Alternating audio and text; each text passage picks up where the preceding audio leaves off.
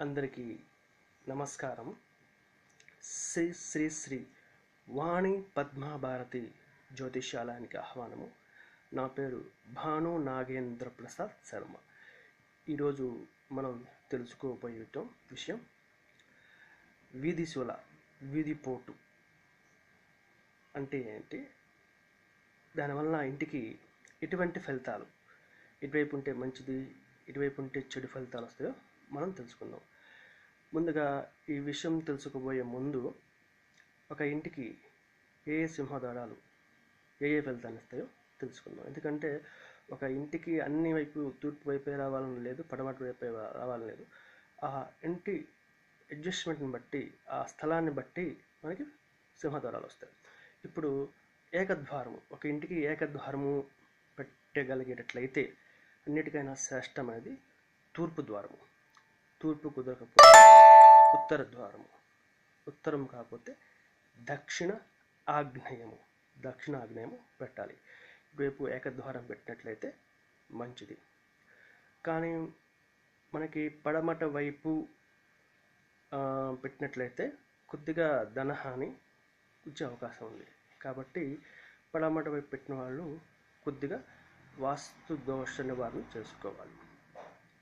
అదేవిధంగా రెండు ద్వారాలు రెండు ద్వారాలు పెట్టవలసి వచ్చినప్పుడు ఎటువైపు పెడితే ఎటువంటి ఫలితం వస్తే తెలుసుకుందాం. తూర్పు దక్షిణం అయితే కొంత కలత్రపీడ వచ్చే అవకాశం ఉంది. తూర్పు పడమర అయితే పుత్రబుద్ధి పిల్లలకి పుత్రబుద్ధి జరుగుతుంది. సంతాన వృద్ధి అదేవిధంగా దక్షిణ పడమర అయితే ద్రవ్యలాభము. తూర్పు ఉత్తరం అయితే కొంత కష్టాలు. ఉత్తర దక్షిణం అయితే శత్రు భయము ఉత్తర పశ్చిమం అయితే కొంత కీడు. కాబట్టి జాగ్రత్తగా గమనించి వీటిలో అవసరం లేని దాన్ని కొంచెం రాకపోకలు తగ్గిస్తే మంచిది. ఇక మూడు ద్వారాలు ఉన్న వాళ్ళకి. మూడు ద్వారాలు ఉన్నట్టయితే తూర్పు పడమర దక్షిణం ఉన్నట్లయితే సౌఖ్య లోపం తూర్పు ఉత్తర దక్షిణం ఉన్నట్లయితే సంపద. తూర్పు ఉత్తర పశ్చిమం అయితే కొంత అనారోగ్యం.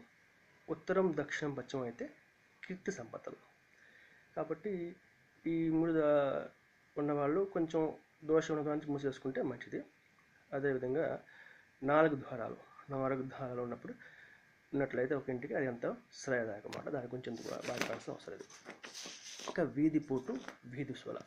వీధి సోల అంటే మన సింహద్వారానికి ఎదురుగా వీధి ఉన్నట్లయితే దాని వీధి పోటు వీధి సోల అని అంటారు. ఈ వీధి సోల ఎట్లా ఉందో చూసుకుందాం ఈశాన్యం వైపు వీధి సోలా ఉన్నట్లయితే సంపద పౌరు ప్రతిష్ట పరువు ప్రతిష్టలు బాగుంటాయి అన్నమాట ఈశాన్య వైపు వీధి ఎటువంటి దోషం లేదు బాగానే ఉంటుంది. అదేవిధంగా ఉత్తరం వైపు వీధి ఉన్నా కూడా అది మంచిది.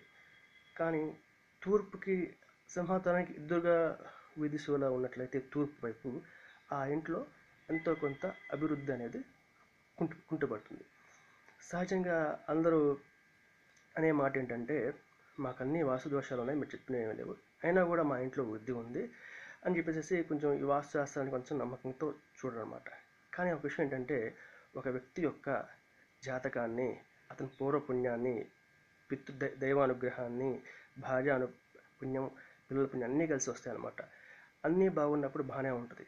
కానీ మనిషికి ఎక్కడ తేడా వస్తుంది? అంతా బాగుంటుందంటే ఎవరి వల్ల వచ్చిందండు దైవాన్ని గుర్తు చేసుకోడు అహం ఉంటుంది. గ్రహానుగ్రహం ఉన్నంత వరకు అంత అంతా బాగానే ఉంటుంది. గ్రహానుగ్రహం ఎప్పుడు దైవగ్రహం ఎప్పుడు పోతుందో అప్పుడే వాస్తు లోపం ఏదైనా కూడా అప్పుడే కనపడుతుంది అన్నమాట మనిషికి అన్నీ అప్- అప్పుడే ఆ అహం దిగి కిందకి వస్తారు. కాబట్టి ప్రస్తుతానికి అన్నీ బాగున్నా మనం ముందుగానే రాబోయే ఈ క- కష్ట నష్టాలని అంచనా వేసి మన జాగ్రత్తలో మనం ఉండాలి. ఎందుకంటే అన్నీ ఒకేలాగా ఉండవు కాబట్టి సాయనాలు సాగుతుంది కాబట్టి దయచేసి ఏ దోషాలను కూడా ముందుగానే నివారణ చేసుకోండి. అదేవిధంగా తూర్పు ఆగ్నేయం.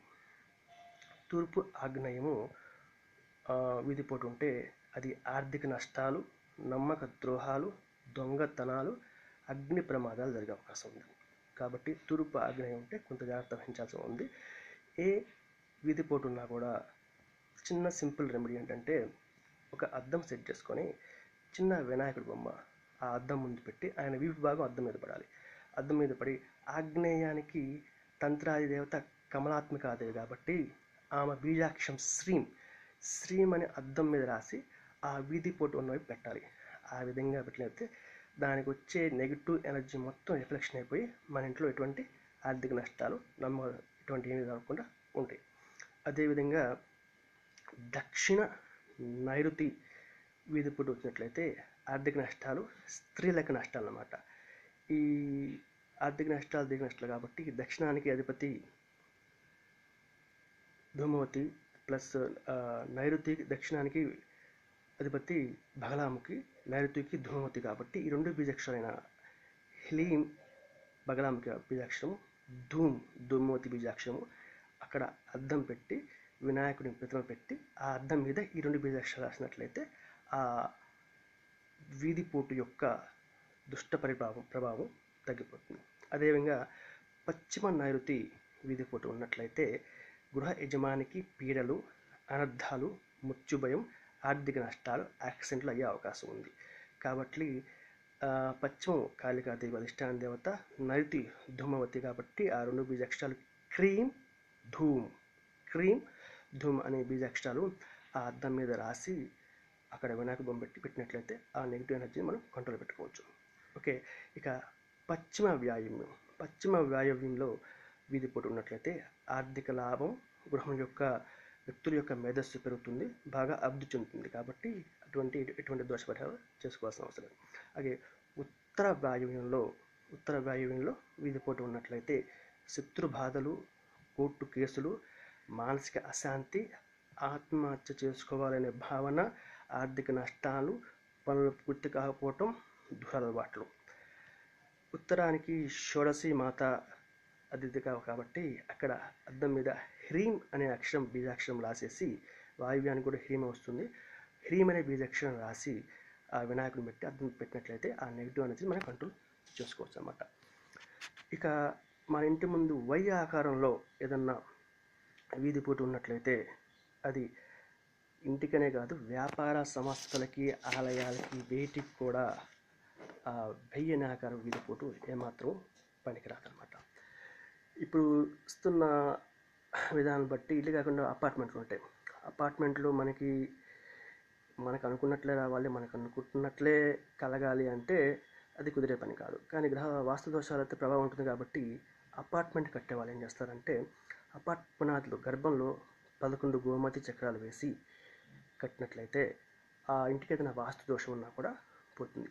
అదేవిధంగా అపార్ట్మెంట్ అయినా సరే ఇల్లు అయినా సరే ఇంటి గర్భదోషాలకు త్రిపుర భైరవి అనే దేవత ఉంటుంది. ఈ త్రిపుర భైరవి ఒక్క గ్రహం అని కాదు. నవగ్రహాలని మన గ్రహ దోషాలని వాస్తు దోషాలని వీటినైనా కూడా పోగొట్టే దేవత. ఈ దేవత అనుగ్రహం పూజించి ఈ దేవత యొక్క బీజ మంత్రం హసై హసకరీం హసై. వాళ్ళు చెప్తాను. హసై హసకరీం హసై. ఈ బీజ మంత్రాన్ని రాగిరేఖ మీద రాసి మనం ఇంటికైతే పునాదిలో పునాది ఉంటుంది కదా మామూలుగా మనకి శంకుస్థాపన చేసినప్పుడు రాగిరేఖ మీద రాసి ఇంటికైనా అపార్ట్మెంట్ అయినా కూడా దాంతోపాటు వేసేసి కట్టినట్లయితే ఈ గ్రహ దోషాలు ఏదైనా వాస్తు దోషాలు ఉన్నా కూడా వాటి ప్రభావం కొంతవరకు తగ్గించబడుతుంది అన్నమాట కాబట్టి ఈ విధంగా చేసుకొని గ్రహ విముక్తులు కండి. అదేవిధంగా మనం కొన్ని వింటూ ఉంటాం. ఏంటంటే రావణ హస్తము కుక్క గొడుగులు అని మనం వింటూ ఉంటాం అన్నమాట. ఈ రావణ హస్తము కుక్క గొడుగులు ఉన్నప్పుడు రావణ హస్తం అంటే కుక్క గొడుగులని ఒకటిని రావణ హస్తం అంటారు. అదేవిధంగా తేనె పట్టు పట్టడం తేనె పట్టు కొన్ని ఇంటి వైపు కొన్ని చోట్ల పడుతుంది అన్నమాట ఇంటికి కొన్ని వైపు వల్ల ఇంట్లో పట్టచ్చు బయట చెట్టుకి పట్టే అవకాశం ఉంది. అదేవిధంగా గ్రద్ద వాళ్తుంది కొన్ని చోట్ల. అత్త వాళ్ళినప్పుడు వాళ్ళకి కొందరు తెలియకపోవచ్చు. తెలుసుకోండి. ఇటువైపు పడితే ఎటువంటి ఫలితాలు వస్తాయి తెలుసుకుందాం. వచ్చేసి తూర్పు వైపు పడితే అది సంపద మంచిదే. బాగానే ఉంటుంది. తూర్పు వైపు గద్ద రావణ హస్తం ఏర్పడిన తేనె బొట్టు పట్టినా కూడా తూర్పు సైడు మంచిదే. ఆగ్నేయం అయితే అగ్ని ప్రమాదం. దక్షిణం అయితే అతి త్వరలో భయపడవాకండి. ఎవరికైనా మరణం భయం ఉంటుంది. నైరుతి అయితే పిల్లలకు గండం. పశ్చిమం వైపు అయితే ప్రభుత్వం వలన లాభం. వాయువ్యం వాయువు ఉత్తరం అయితే పశు పా- పాడి పంటల అభివృద్ధి ఉంటుంది. అది ఇంటి గర్భంలో ఏర్పడితే ఇంటి గర్భంలో మధ్యలో ఒకళ్ళు ఇంటి కొంతమంది కొన్నిసార్లు ఇల్లు మూసేసి బయటికి వెళ్ళే అవకాశం ఉంది మళ్ళీ వచ్చే అవకాశం ఉంది. అప్పుడు ఇంటి మధ్యలో ఏర్పడితే అది ఇంటి యజమానికి ప్రాణహాని. అది ఆరు నెలల పాటు ఇంటిని పాడు పెట్టేసేసి వేరే చోట వెళ్ళిపోవాలి. జాగ్రత్త పెట్టండి రావణ హస్తం అంటే కుక్క గడుగులో వచ్చే రావణ హస్తం తేనె పట్టడం గద్ద వాలటం ఇవన్నీ జాగ్రత్తగా పెట్టుకొని నెగ్లెక్ట్ చేయకుండా సరైన సమయంలో సరైన నిర్ణయాలు తీసుకోండి. ఎందుకంటే చేతులు కాలేక ఆకలి పట్టుకోవద్దు ఇది భయపెట్టడం కాదు ముందు సూచన మాత్రమే. ఆ పరమాత్మ అందరికీ మంచి చేస్తారు శుభం భయాత్.